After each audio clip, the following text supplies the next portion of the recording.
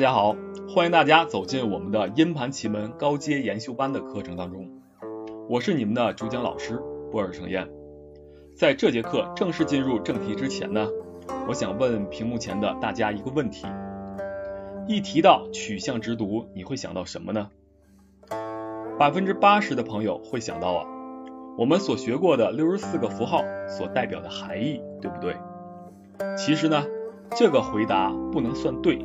也不能算错，为什么呢？我给大家来举个例子。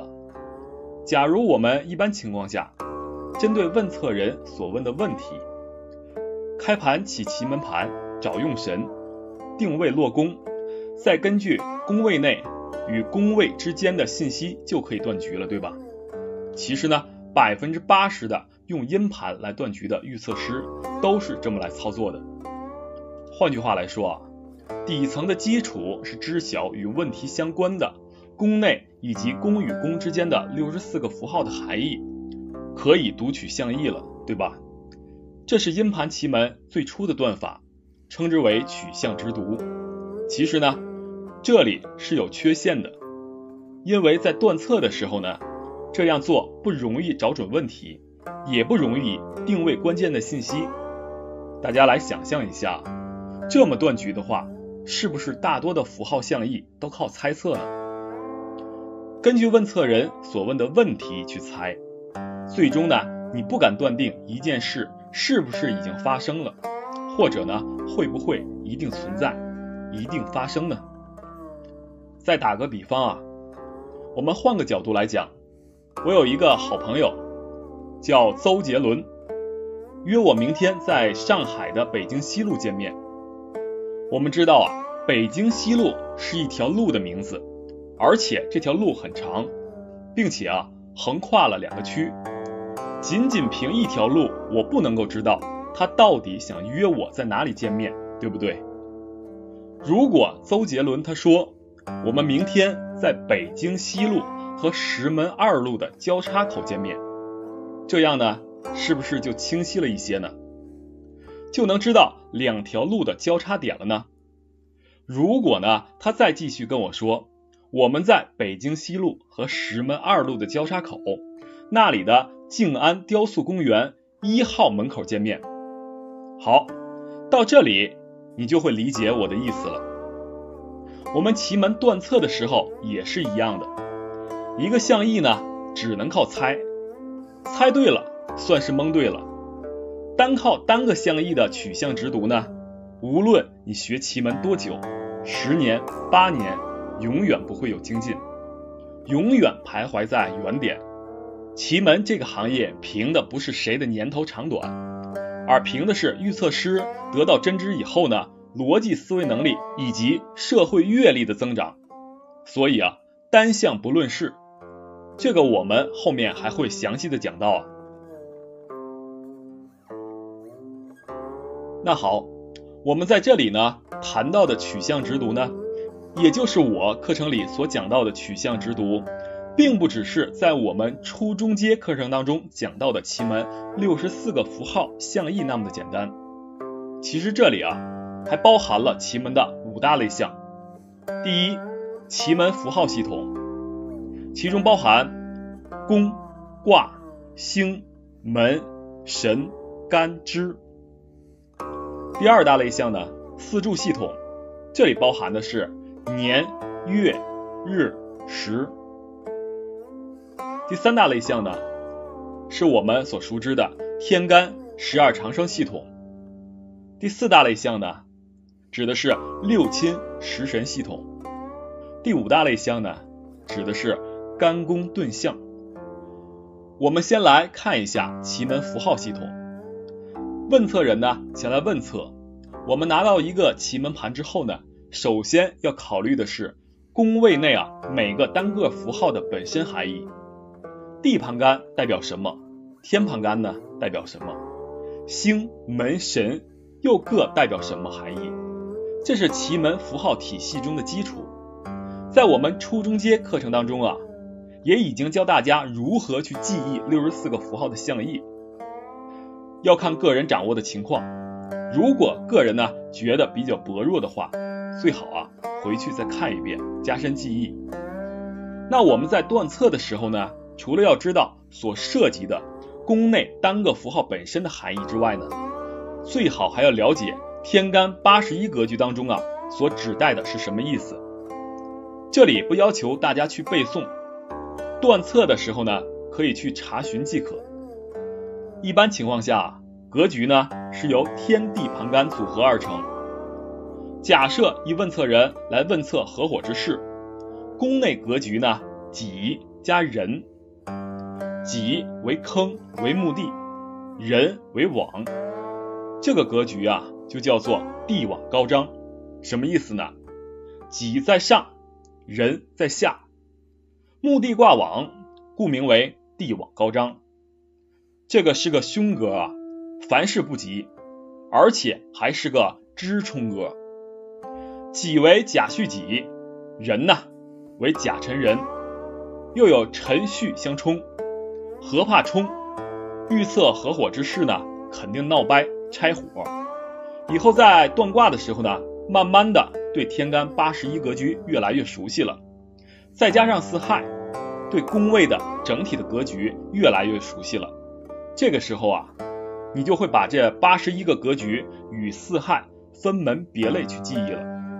比如分成进、退、冲、合、行、空、木、破格局了。这些内容呢，我已经放到了我们的高阶班学员手册当中，方便大家查找使用。这些格局呢，会在我们后面讲到奇门高阶二十心法口诀的时候，会着重的讲解。这里呢，先提一句，好让大家心里有数。好。这是关于奇门五大类象当中第一部分符号系统，我们将要掌握的内容。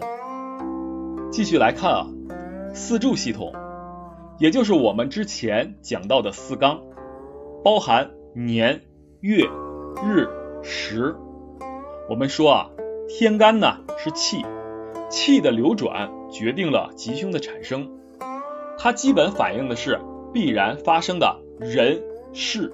或者物，它是一种存有，必定存在，有其人，有其事，有其物。那四纲的落宫呢，必有其人事物。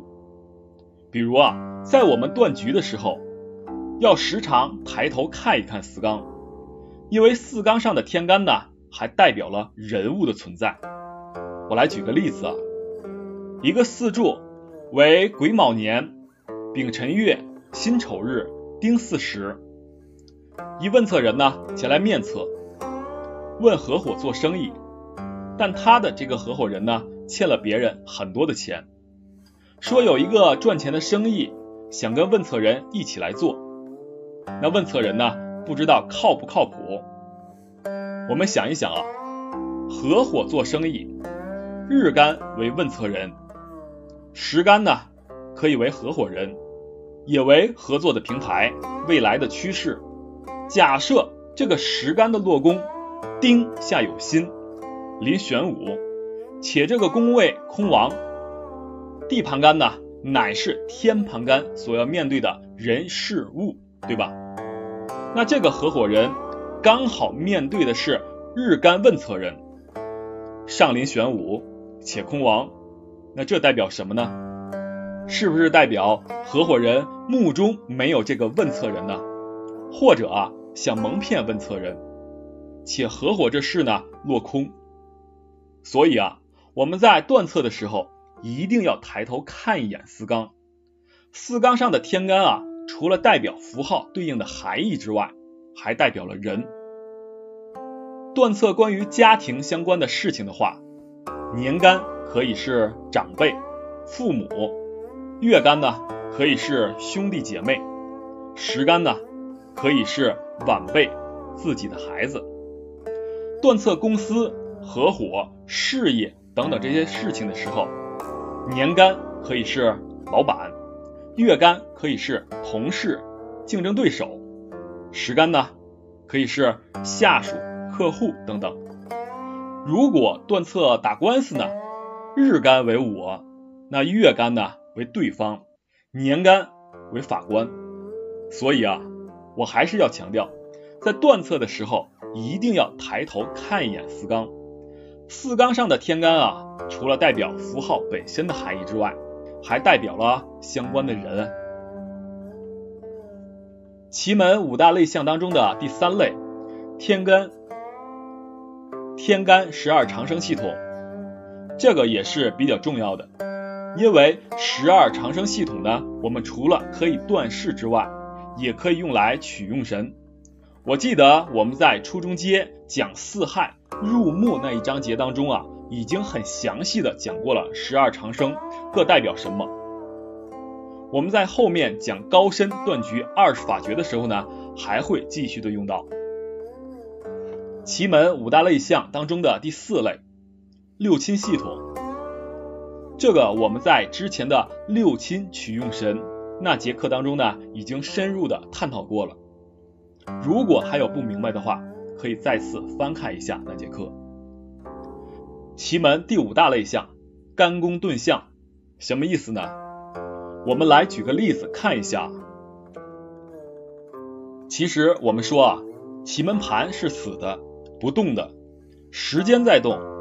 问测者来问测，起心动念之时呢，奇门盘才真正的动起来。假设问测人来面测，日干为太极点，坐实问测之事，所有的术数，无论八字、六爻等等，都要先找到太极点。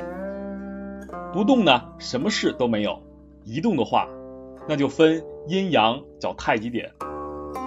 看左边的这个盘啊，这是我用来给大家举例子的，并非真实的案例，所以呢，先跟大家说明一下。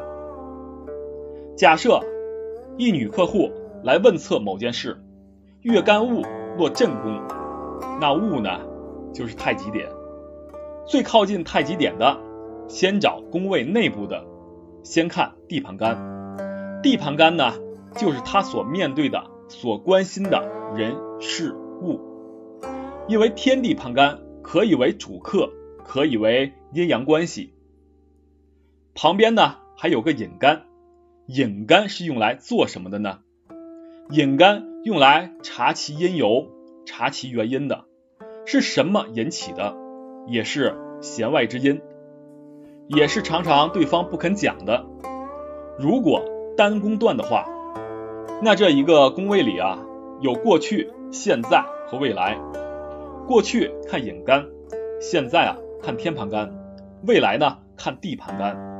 地盘干是未来所要面对的人事物，同时啊天盘干可以代表一个人的外表，地盘干呢则可以代表一个人的内心的想法。天盘干与引干的关系，就是我跟过去的关系；天盘干与地盘干的关系呢，就是我跟未来的关系。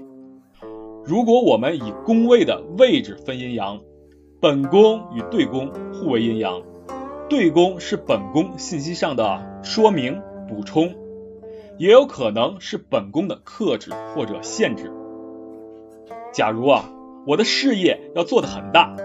对宫呢是机关政府，因为要做的很大嘛，一些法律条款要遵守，遵守后啊，以后才会更为的规范，会做得更大。所以呢，在道家的思想里面呢，克不一定不好，限制越多，成长越大。对宫呢，如果克它，可能啊是一种规范限制，当然呢，也有可能是不利的。对宫有本宫投射的信息，像镜子一样用来取象，所以啊，这也是阴阳。对宫是本宫所要面对的人事物。如果对宫有小三、天瑞并星、符号等等，那说明他正在面对情人、疾病等等。所以啊，我们讲对宫是本宫现在所要面对的人事物。时干的落宫呢，可以看作未来。我们说啊，时干为日干的先锋部队，即事情发展的下一步，即将的未来。时干先走，日干紧随其后。时干宫与日干宫又可以形成一个太极，分阴阳。这是第一层，这么来看。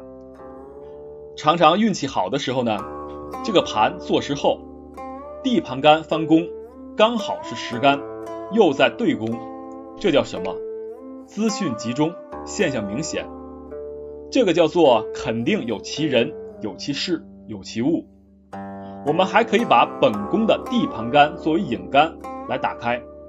这个盘里的地盘干人，那打开人呢，就是打开了离宫，对吧？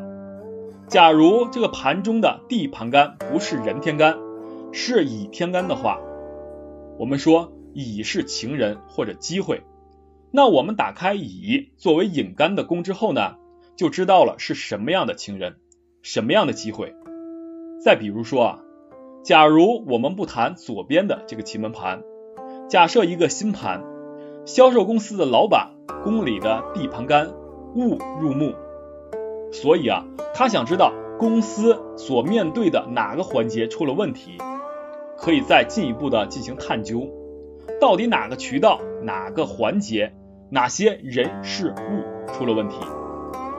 天盘干呢，也可以打开。把天盘干当做引干来打开，既可以知道当事人更为具体的情况，更为具体的状态。我们说啊，天盘干为表面，为现在所发生的正在显露的一部分。所以啊，打开以后呢，使我们能够得到的信息更为的完善。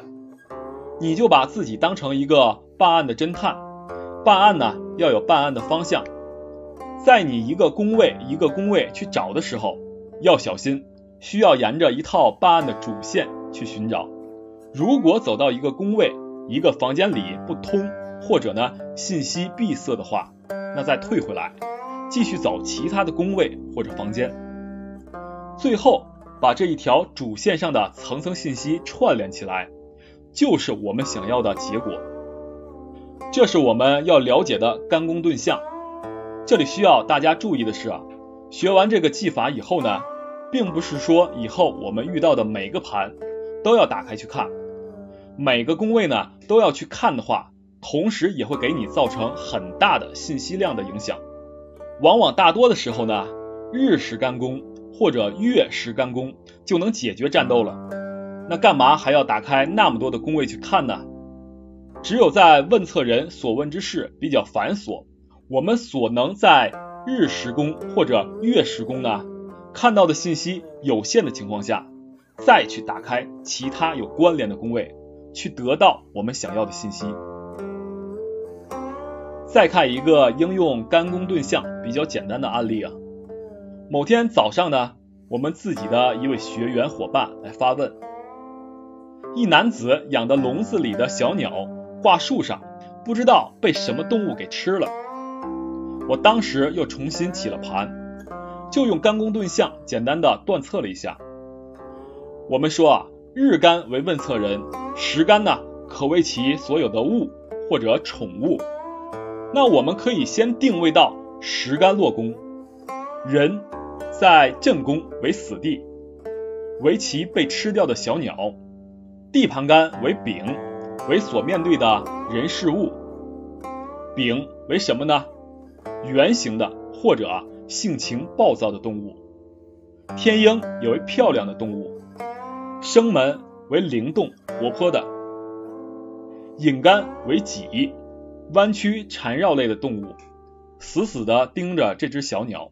我们打开引干己的落宫啊，究其小鸟的原因，坤宫临蛇，很明显呢，腾蛇主缠绕弯曲，丁。戊为牙齿撕咬肉状物，丙加颈门呢，主血光之灾，这是这起案件的发生的原因。我们再来看啊，时干落宫的对宫，对宫可为正宫的修饰补充，也可为正宫的限制。对宫冲克正宫，我们可以把对宫的信息作为凶手信息上的补充。林太阴。隐蔽或者晚上出行的东西，鬼加庚呢为弯曲的、喜潮湿的、喜好攻击的动物。天蓬星呢主这样的东西啊，一般活动起来都是在寻找猎物、寻找食物。死门呢，代表着不经常动，隐藏着，或者吃饱了隐藏起来。所以啊，经过象意的叠象与串联，我断大概率是蛇。当然啊，干宫遁象，我们还可以打开天盘干人作为引干的宫位，来查看当时更为详细的情况状况。同时呢，也可以再打开地盘干丙作为引干的宫位。来查看这个性情暴躁的动物到底是什么？这里呢，大家可以当做一次作业，试一试，跟着我的思路来断测一下。这就是我讲的干宫遁象的整体的用法。那好，这节课呢，我们讲了什么才是真正的象意之读、取象之读，并非只是我们以前脑海当中的六十四个符号象意那么的简单。这里包含了单个象意本身的含义，以及天干八十一格局，以及进退冲合行空木破格局，以及四柱系统，以及天干十二长生系统，以及六亲食神系统和干宫遁象。好，我们这节课呢，先上到这里，下节课见。